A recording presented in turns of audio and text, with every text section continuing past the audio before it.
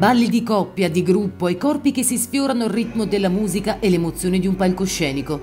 Che cosa resta delle scuole di danza penalizzate dal susseguirsi dei decreti da inizio marzo ad oggi? È in crisi anche questo settore, con strutture chiuse in tutta Italia. Sono mesi ormai che il governo ha messo in lockdown l'intero comparto e il problema non è soltanto economico. Le video lezioni non bastano più a chi deve formare i piccoli artisti o a chi vuole insegnare, seguire attentamente e trasmettere passione ai propri allievi. Con molta fatica proviamo a sostenerci proprio nel minimo facendo delle lezioni ovviamente online, che rispetto a quello che è la normalità e fare lezioni in presenza è totalmente un lavoro diverso. Questo diciamo che è l'unico modo per riuscire ad andare avanti, per riuscire ecco, a rimanere in contatto umano anche con i nostri allievi. Certo non è la stessa cosa ovviamente perché vederli in video è comunque un mezzo un po' asettico, però è l'unica possibilità che abbiamo di sopravvivere in questo momento.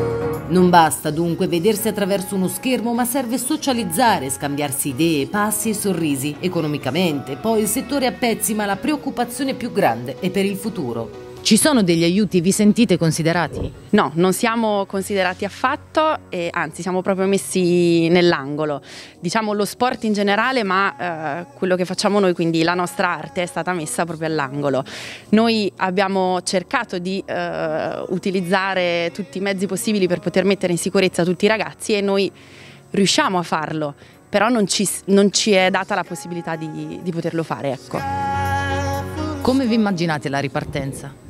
Allora noi la possiamo immaginare nei modi più, più, belli, più propositivi. Il problema è che sarà una ripartenza lunga e faticosa perché ovviamente dovremo riconquistare la fiducia dei, dei genitori, comunque dei bambini che non, ormai non frequentano più da, da, tanto tempo perché comunque ovviamente c'è paura. Nonostante noi manteniamo un regime molto rigoroso eh, nel, nella pulizia, nel disinfettare e tutto, però dobbiamo riconquistare questa fiducia.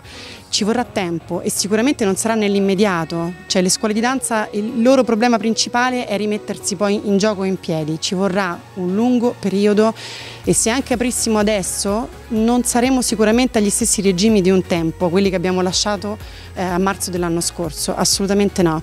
Quindi per noi la ripartenza sarà sicuramente lenta ed è questa la preoccupazione anche più grande perché abbiamo bisogno ancora di tempo per ritornare a quello che eravamo, ancora tanto tempo.